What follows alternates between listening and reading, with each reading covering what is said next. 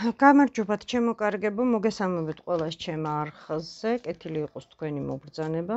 მივესალმები სტუმრებს. დარჩით ჩვენთან, გამოიწერეთ არხი, ნახავთ მრავალ საინტერესო ვიდეოებს, თუ გადახედავთ ძველ ვიდეოებსაც, ნახავთ საინტერესო რჩევებს. ვცდილობ ხოლმე თუ რაღაც ახალი ტექნიკა შემემუშავე, ესეთი მარტივი რიტუალი, რომლის გაკეთებაც თქვენ შეგიძლიათ და ცხოვრებაში წაგადგებათ, ამასაც უპრობლემოდ გიზიარებთ. მხოლოდ და მხოლოდ ისეთ რიტუალებს და ისეთ ტექნიკებს გასწავლით, რომელიც უსაფრთხოა თქვენთვის და თქვენთვის თქვენი გარშემოყოფებისთვის.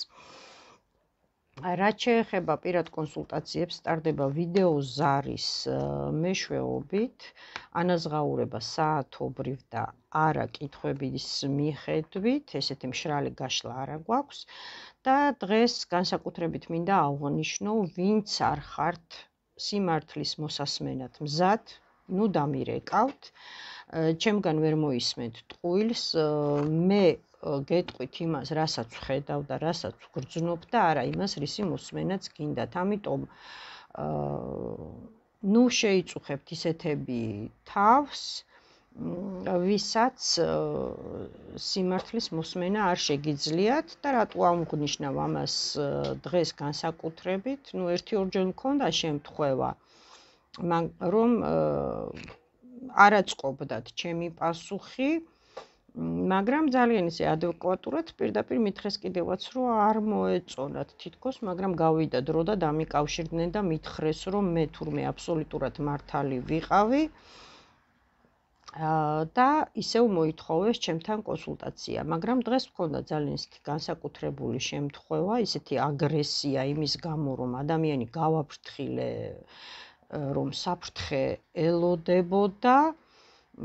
მე ნაწყენია არ დავრჩები ესეთ რაღაცებზე არ მაქვს იმდენად რეაქცია, უბრალოდ გულდასაწყვეტია მხოლოდ ის, რომ ადამიანს არ აქვს შეგნებული ის საფრთხე, რაც ემუქრება და რაც შეიძლება მომავალში მართლაც მოხდეს მის ცხოვრებაში, როგორც წესი 99.9 და 9 თედი თუ მეასედი, ჩემი პროგნოზები ყოველთვის სრულდება და განვიცდი იმ ადამიანის გამო, არ ვიცი თუ მომისმენს კიდევ ერთხელ მიიღოს გაფრთხილება და აქედან გამომდინარე ისე ვიმეორებ თუ არ ხართ იმისთვის მზად რომ მოისმინოთ სიმართლე და ზღაპარი გირჩევნიათ და ისე დამთავრდეს ყველაფერი როგორც ინდურ კინოში.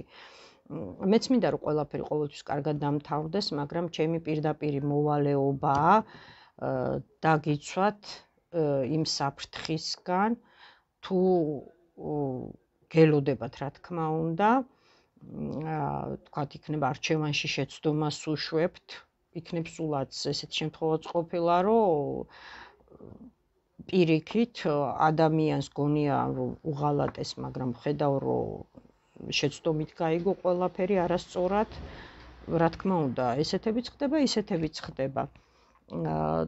და არო არ არის მარტო ფსიქოლოგია, როგორც დღეს იმ ხალბატონმა მითხრა და უბრალოდ ძალიან უცნაურია რომ მასწავლოს მე ტაროს სისტემა და რა არის ტარო. ну ესეთებიც ხდება ხოლმე მაპატიეთ რომ ესეთი იმით შემოვიჭერი შესავალით მაგრამ მინდა რომ მოისმინოთ და თუ ვინმე დააპირებს ჩემთან დაკავშირებას, ეს ყველაფერი გაითვალისწინოთ. ტარო გვაჩვენებს სიტუაციიდან გამოსავალ გზებს, ტანო გვაჩვენებს მოვლენების განვითარების ალბათობას, როგორ შეიძლება განვითარდეს მოვლენები, თუ თქვათ, წახვალთ ამ გზით, ამ გზაზე რა გელოდებათ თუ წახვალთ მეორე გზით იმ გზაზე რა გელოდებათ არჩევანს ყოველთვის თქვენ აკეთებთ და თუ ადამიანი გაფრთხილებთ რომ საფრთხე გემუქრებათ და არ გაითვალისწინებთ ეს უკვე ტაროლოგის ბრალი არ არის მე არ მომიზიდია ის ცუდი ენერგეტიკა ეს უბრალოდ სამყაროს უნდა თქვენი დაცვა და გაფრთხილებენ. როცა გარდაუვალია ესეთი საფრთხე, მაშინ არც აგარიდებენ და არც გაჩვენებენ გამოსავალ გზებს, ასე რომ შემოკარგებო ეს დეტალები გაითვალისწინეთ. რაც შეეხება დღეს გაშლას, აა ყოფილზე ისევ როგორ გძნობს თავს. მოდით ერთი ვარიანტი გავაკეთოთ. მე მინდა ხოლმე სულ მომავალზე მქონდეს პროგნოზები. წარსულისკენ აღარ ვიყუროთ, მაგრამ კომენტარებში ხშირად ვაწყდები ასეთ სურვილებს და მოთხოვნებს და მეც ვემორჩილები თქვენ სურვილებს. თქვენი ხმალი და ჩემი კისერი, რაც თქვენთვის უფრო საინტერესოა, იმას გავშლი. და იყო ესეთი კითხვა, რას გრძნობს, რას ფიქრობს ყოფილზე, ну როგორ გრძნობს თავს და რა ხდება მის ცხოვრებაში. დავიწყოთ მინიშნებით, ჩემო კარგებო. რა ხდებოდა თქვენ შორის, ვინ არის თქვენთვის ეს ადამიანი? ანუ ყოფილი პარტნიორი და ნახოთ რა ხდება დღეს მის ცხოვრებაში და ერთი ვარიანტი რო იქნება რაც გაშლა რასაც გაშლა მოიტანს დეტალებში განვიხილოთ ნანობს არ ნანობს აა საერთოდ შეიძლება გავიდეს დრო და დაბრუნდეს და ასე შემდეგ და ასე შემდეგ. ყველაფერს განვიხილავთ დეტალებში ერთი ვარიანტი. ვინ არის ეს ადამიანი თქვენთვის? ანუ ვინ იყო რა ხდებოდა თქვენ შორის უფრო სწორად. ნუ პირდაპირ ამოვიდა манипуляტორი, აქ არის ოჯახურ წყვილზე ლაპარაკი, წყვილში რომელშიც მინიმუმ ერთი ბავშვი მაინც არის და აი ეს ადამიანი არის ყოფილი. ყოფილი დაიწყო ყველაფერი ძალიან დიდი სიყვარულით, ძალიან დიდი ემოციებით თითქოს ადამიანი ძალიან სანდო იყო, ადამიანი მართლაც, რასაც ქვია, ძლიერი მხარი და დასაყრდენი. აქ 100%-ით არის შემოკარგებო ცოლქმრულ წყალზე ლაპარაკი და მე კომენტარებში რომ იყო, არ იყო, ესე იყო, ისე იყო და რაღაცა ვარიაციები გამორიცხეთ და უყურონ მათ, ვინც რეალურად იმყოფებოდა კანონიერ ქორწინებაში. აქ ახლა არ ვაკონკრეტებ უკვე მოხდა არ მოხდა განქორწინება, ამას ვნახავთ გაშლის დროს, მაგრამ კონკრეტულად რომ მეუღლეზია ლაპარაკი, რა თქმა უნდა, ორივე პოზიციიდან შეგიძლიათ ყურება, მამაკაცებსაც და ქალბატონებსაც. და როგორ მიმდინარეობდა ეს თქვენი ქორწინება.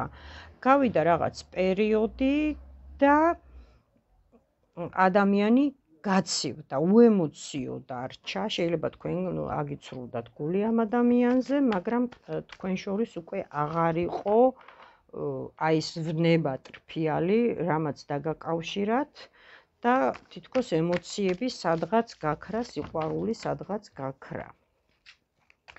ნახოთ კიდე როგორ ვითარდებოდა მოვლენები თქვენ შორის, რა მოყვა ემოციების გაციებას. ადამიანი მოულოდნელად თითქოს შეიცვალა, აი ამ ემოციების გაცივებისგან დაიწყო ყველაფერი, მაგრამ აა მე უცბად ადამიანი გახდა აგრესიული. წამოვიდა სუხმლები. შეიძლება ეს ყველაფერი მოხდა რაღაცა მგზავრობის შემდეგ, აქ საბრძოლო ეტლია და გადაადგილებაზე მიუთითებს შემოკარგებო და პირდაპირ შეიძლება გზასთან იყოს დაკავშირებული. ან შორ გზაზე ну თუ ემიგრანტებზია ლაპარაკი მოგიწიათ თქვენ წასვლა ან მას მოუწია წასვლა და ამის შემდეგ შეიცვალა რადიკალურად თქვენს მიმართ და შემიძლია ძალიან დაბალი პროცენტით, მაგრამ ერთი ნიუანსი დაუშვა, რომ გზასთან დაკავშირებით რაღაცა უსიამოვნება შეემთხვა, შეიძლება მოხდა ავარია, რაღაცა ისეთი შემთხვევა, მანქანა დაამტრეა, დაეჯახან რაღაცა, ну, გზაზე ხიფათთან დაკავშირებით იყო რაღაცა და ამის მერე ძალიან აგრესიული გახდა ადამიანი. და მაშინ ახლა დავსვათ. კითხვა, როგორ მოხდა თქვენი დაშორება, რამ გამოიწვია თქვენი საბოლოოდ აი ამ დაძაბულობის და აგრესიის შემდეგ, აი ეს თვითონ დაშორების მომენტი, რა მოხდა მაშინ, როგორ დაშორდით ამ ადამიანს?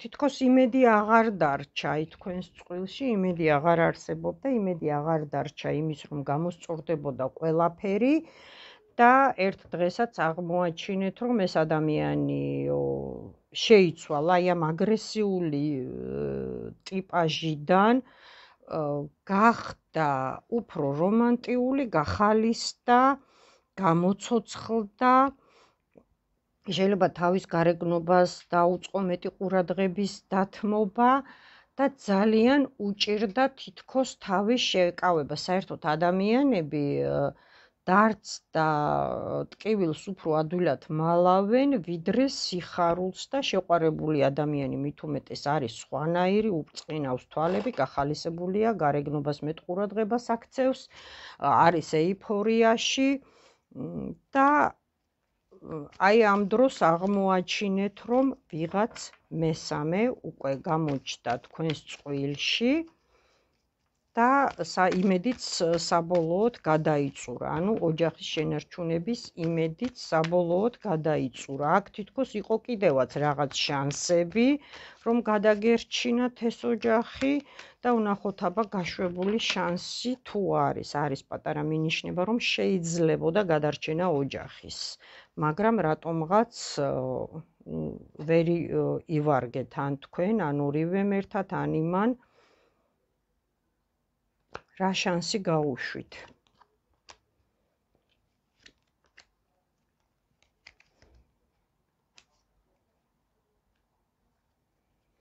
თქვენ სრული შანსი ქონდათ მართლაც აქ დიდი იყო შანსი რომ ოჯახი შენარჩუნებულიყო აა ძალაუფლება თითქოს თქვენს ხელში იყო, რაღაცით შეგეძლოთ ზეგავლენა მოგეხდინათ ამ ადამიანზე და გაგემარჯვებინათ. მაგრამ თითქოს პრაქტიკულობა ვერ გამოიყენეთ, აი პრაქტიკულად ვერ მოიქეცით. შეიძლება ემოციებს უფრო აყევით, ვიდრე საღგონებას, ცივი გონებით არ განსაჯეთ. ეს ყველაფერი არ გაითვალისწინეთ მომავალი შედეგები. ან თვითონ იმ ადამიანმა უფრო თქვენზე აქვს ლაპარაკი. შეგეძლოთ ამ ყველაფრის გამოსწორება, მაგრამ ეს შანსი ხელიდან გაუშვით. მაშინ ვნახოთ რა კი გვაჩვენებს აქ რომ შეყარებული იყო თქვენი ყოფილი მეუღლე სხვაზე მაგრამ აქ სამართალს და იმასაც ვერ ხედავ, ისეთ კარტებს ვერ ხედავ, რომელიც პირდაპირ განქორწინებაზე მიუთითებდეს. ну, ზოგ შემთხვევაში იქნება კანონიერი განქორწინება, უკვე ოფიციალურად დასაბუთებული და ზოგ შემთხვევაში არ იქნება, იმიტომ არ მომდის ეს 100%-იანი მინიშნება იმაზე, რომ აქ ოფიციალურ დონეზე მოხდა ქორწინების დარღვევა. ორივე ვარიანტი შეიძლება იყოს. შეიძლება დღემდე საბუთებზე ცოლქმრად მოიაზრებით. ნახოთ ვინ იყო ის მესამე ზედმეტი თქვენს წყვილში, ვინაც საბოლოოდ გამოიწვია თქვენი წყვილის დანგრევა.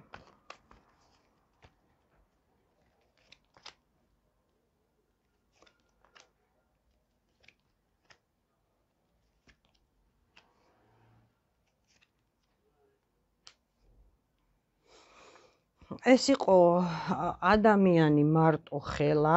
იმ მომენტისთვის იყო მარტო. არ ყავდა სხვა პარტნიორი არ ყავდა სხვა წყვილი. ადამიანი ძალიან მიმზიდველი ნუ ვარსკვლავით რო ამოდის ეს თავისთავად მის მიმზიდველობაზე და ხიბლზე მიუთითებს ადამიანი რომელიც ბრწყინავს ადამიანი რომელიც ანათებს აი ძალიან თვალში საცემი ეფექტური ადამიანი ასევე ძალიან გახსნილი, ხალისიანი, ძალიან ემოციური, მაგრამ ადამიანი, რომელიც ძალიან მარტოსულია და ამას ოსტატურად მალავდა ყველაფერს. ყველას თვალში ეს ადამიანი გაცილებით უფრო ხალისიანი, ბედნიერი და წარმატებული ჩანდა, ვიდრე სინამდვილეში იყო. და ეს ერთი სიტყვა, ერთი ფრაზა არ მასვენებს და უნდა გავაჟღერო, შეიძლება მხოლოდ ერთი ადამიანისთვის რეზონირდეს, მაგრამ უნდა ვთქვა, კარგად შენახული. აი, ასაკი რო არ ეტყობა ადამიანს და რო ვიტყვით ხოლმე, კარგად შენახულიაო, აი ზუსტად ესეთი ადამიანი ზოგ ვარიანტში. ანუ არ მომესვენა ამ ფრაზამ და უნდა მეთქვა. კარგად შემონახული, შეიძლება თქვენს პარტნიორზე, თქვენს მეუღლეზე ასაკით უფროსი ყოფილიყო საგრძნობლად, მაგრამ აი მოუვლილი, კარგად შენახული ადამიანი. ნახოთ ახლა დღეს რა ხდება ამ წვილში, არიან თუ არა ისევ ერთად. რა ხდება დღეს ამ წვილში, ანუ თქვენს ყოფილ მეუღლეს და იმ ადამიანს შორის, ვისთანაც წავიდა.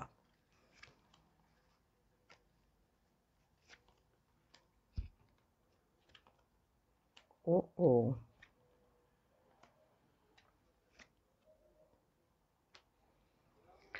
აქ უკვე ემოციები აქაც თითქოს ნელ-ნელა ნოლზე დადის. აი რაღაც ერთი წკიპი გააკლია, ერთი ნაბიჯი რომ აი ეს ემოციები თავიდან როგორც თქვენთან გაცივდა, ემოციები აღარ იყო, სიყვარული აღარ იყო, ეს თითქოს ისე ამ შემთხვევაშიც, ნუ იმ წყლშიც ისევე ხდება. აქ იმაზეა მინიშნება, რომ მიიღეს ის, რასაც იმსახურებდნენ და გასაგებია რატომ იმსახურებდნენ თქვენი ტკივილიდან გამომდინარე, დანგრეული ოჯახიდან გამომდინარე.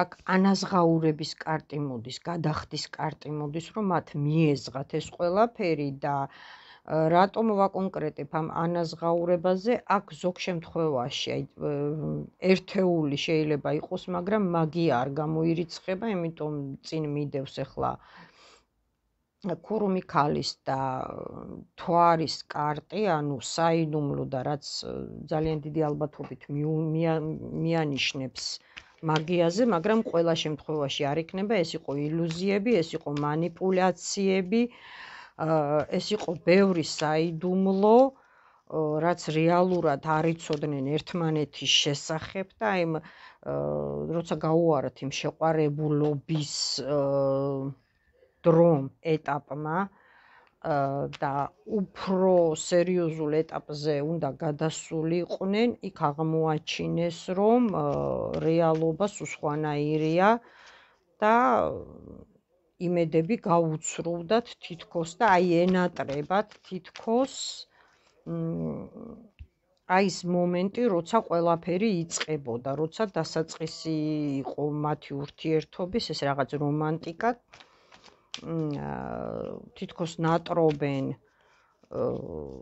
აი ძველი დროის დაბრუნებას შეიძლება იმასაც ფიქრობდნენ, ან ერთ-ერთი მათგანი, აქ ჯერმე კონკრეტულად წვილზე ვლაპარაკობ, მათ შორის ურთიერთობაზე. უკაცრავად, რომელიღაც მათგანი თუ ორივე შეიძლება ფიქრობდნენ, რომ ნეტავ დრო უკან დაბრუნდებოდესო, გადაახვიონ უკან და ალბათ ის რაც მოხდა არ არ მომხდარიყო, არ გამოურიცხავ ასეთ ფიქრებსაც. ნახოთ თვითონ თქვენი ყოფილი რას ფიქრობს ამ ყველაფერზე. ნანობს, არ ნანობს, რა მდგომარეობაშია?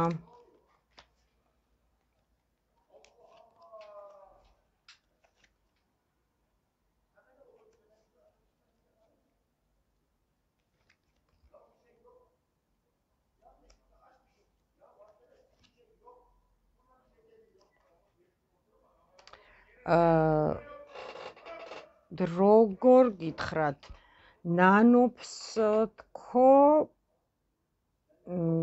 ძალიან ისეთი სერიოზული სინანულის შეგრძნება რო გქონდეს და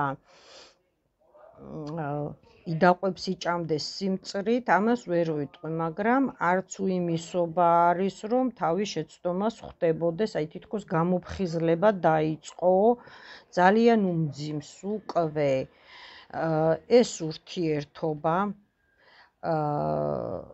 ძალიან გაუჭირდა აი ამ ყველაფრის გადალახვა, თვითონ უკვე აგრესიულად არის განწყობილი იმ სიტუაციაში, სადაც ახლა არის, აი ნერვები აქვს წკიპზეო, ზუსტად აი ამაზე შემილია ვთქვა. და იმ ურთიერთობის თითქოს დამთავრებას ფიქრობს, იმიტომ რომ არის არჩევანის წინაშე სამყარო და ჰაერის ორიანი, ანუ ხმლების ორიანი მძიმე არჩევანზე მიუთითებს იმის შესახებ, რომ დამთავრდეს ეს ეტაპი, დამთავრდეს მის ცხოვრებაში, აი ყოყმანობს, დაამთავროს, არ დაამთავროს, უკვე გაღიზიანებულია და აგრესიულია. რატოა მაშინ ესე გაღიზიანებული? აი რა არ მოსწონს იქ, სადაც არის? რა არ აკმაყოფილებს?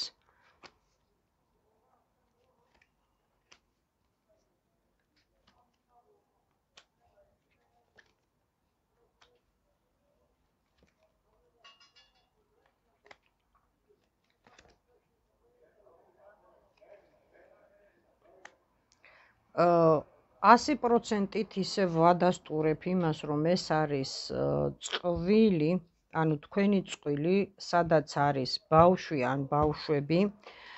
აა ძალიან განიცდის ამ მომენტს ის რაც დაემართა, იქ რაც უსიამოვნება ხდება მის თავს, თვითონ აი ამას იაზრებს, რომ აა ბავშვების ცოდვამო მიწიაო. აი ეს აქვს გააზრებული და ფიქრობს, რომ ძალიან დიდი შეცდომა დაუშვა ბავშვების წინაშე, რადგან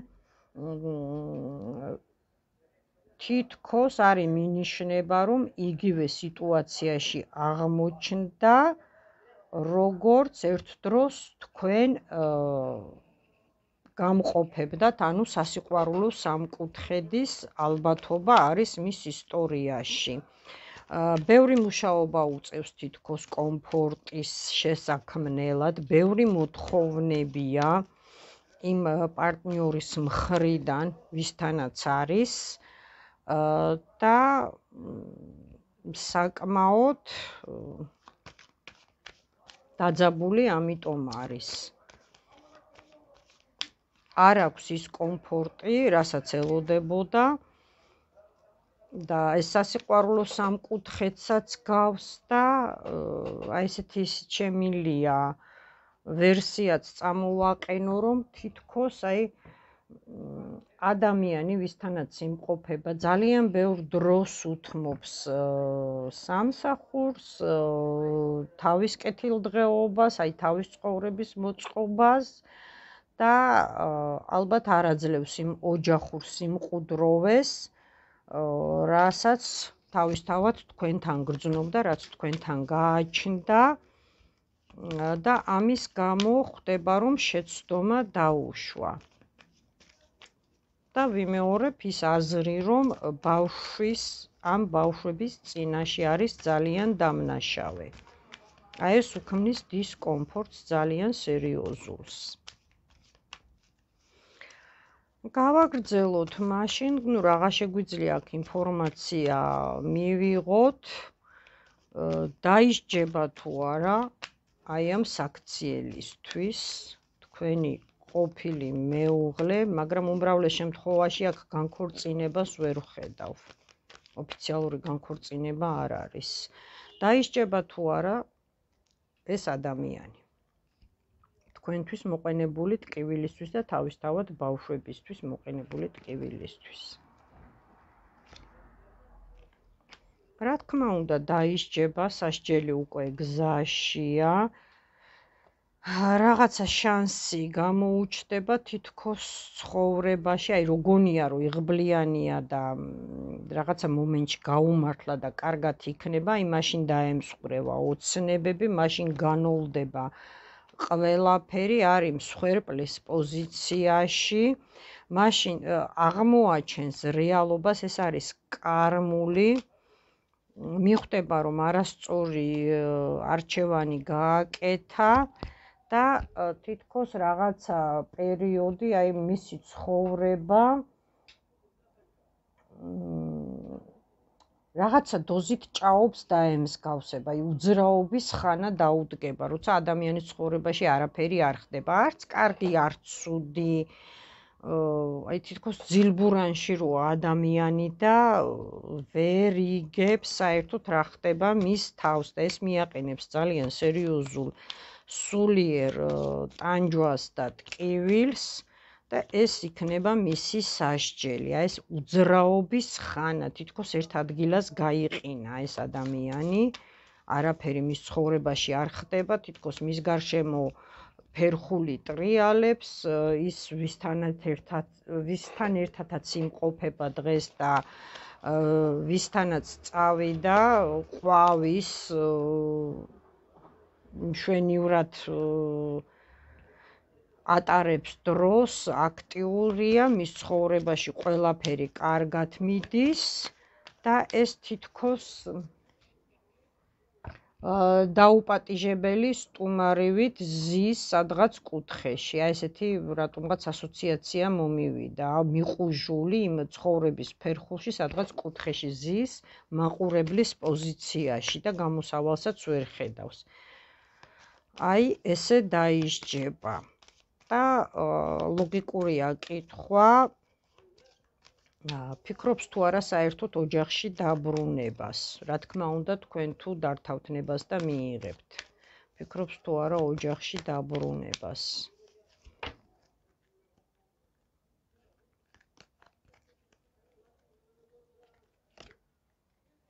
კი ფიქრობს მაგრამ ძალიან ეშინია იცის რომ ძალიან დიდი იმედგაცრუება და ტკივილი მოგიტანათ და თითქმის დარწმუნებულია რომ თქვენ მას არ მიიღებთ. აი ამას თითქოს 100%-ით არისო დარწმუნებულიო. ოცნებობს კიდევაც აი ამაზე ოცნებობს პირდაპირ ოცნების კარტი. მაგრამ გამოსავალს ვერ ხედავს არიცის როგორ მოიქცეს, არიცის რა გააკეთოს იმისთვის, რომ ოდნავ მაინც შეძლოს თქვენთან ისე მოახლოვება და დაახლოვება. აქ არ არის იმაზე ლაპარაკი, რომ თქვა კონტაქტი არ გამოვიდეს, არ დაგელაპარაკოთ, შეიძლება ახლა როცა ბავშვებია და თუნდაც ერთი ბავშვი წველში, ბავშვის გულისთვის კონტაქტობდეთ, მაგრამ აქ არის პირადად თქვენზე ლაპარაკი, რომ არიცის რანაირად მოგიახლოვდეთ და როგორც აღნიშნეთ, თითქმის 100%-ით დარწმუნებულია, რომ თქვენ მას აღარ მიიღებთ.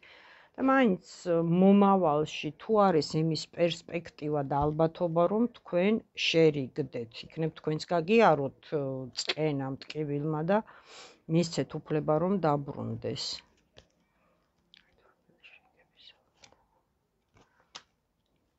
შერიგების ალბათობა არის ოჯახის აღდგენის შანსი არის მაგრამ ამისთვის ძალიან უცნაური მომენტია რაღაც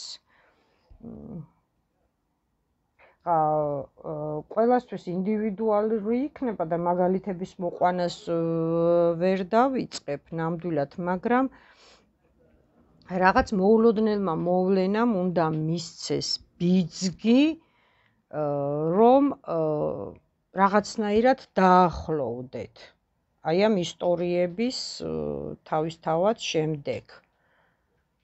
რაღაცა შემთხვევა ისეთი რომ თითქოს სამყარო მოგიწყობთ ისეთ სიტუაციას რომ მოგეცემათ შანსი ოჯახის აღდგენის ბედის ბორბალი მოგეხსენებათ წაღმაც ტრიალებს და უკუღმაც და დაბრუნების მანიშნებელია ხშირად ძველი ისტორიის განმეორების მანიშნებელია და შეიძლება აი სამყარომ ზუსტად მოგცეთ ესეთი საშუალება, რაღაც შემთხვევა იქნება, მოულოდნელი შემთხვევა ისეთი, რომ შეგახვედრებთ თითქოს სამყარო ერთმანეთს. აი საშუალებას მოგცემთ ამის ყველაფრის აღდგენის. ეს უკვე დანარჩენი უკვე ჩემოკარგებო თქვენი გადასაწყვეტია. მიიღებთ, არ მიიღებთ, როგორ პოზიციას დაიკავებთ ამ ურთიერთობაში ეს მხოლოდ და მხოლოდ თქვენი გადასაწყვეტია, მაგრამ შერიგების ალბათობა არის, ჩემო კარგებო და ძალიან ძალიან შორსაც ვერ გავიხედებით, მით უმეტეს საჯარო გაშლის დროს და ერთ-ერთი გაშლაც შემდგომში გავაკეთოთ. ისეთი, რომ ღირს თუ არა შერიგება, კარგი თემა არის, ამას ჩავინიშნავ, როცა საუბარს მოვჭები და საერთოდ ზოგადად თემა გავაკეთოთ, შეიძლება ორ-სამ ვარიანტზე ღირს თუ არა ადამიანთან შერიგება, იმიტომ რომ ხშირად არის შემთხვევები, როცა ყოფილები ბრუნდებიან, ზოგი ინანიებს, ზოგი არ ინანიებს, ну როგორც წესი ადამიანები სამწუხაროდ არიცვლებიან, მაგრამ საბედნიეროდ ისეთი შემთხვევებიც არის, რომ ადამიანი უკვე სრულიად ხვდება თავის შეცდომებს, დანაშაულს და აღიარებს და იცვლება. ერთეულები, მაგრამ მაინც არის და ვნახოთ ღირს თუ არა შერიგება მომდევნო თემა ეს იყოს. გემშვიდობებით მომავალ შეხვედრამდე ველოდები საინტერესო თემებს გაშლებისთვის.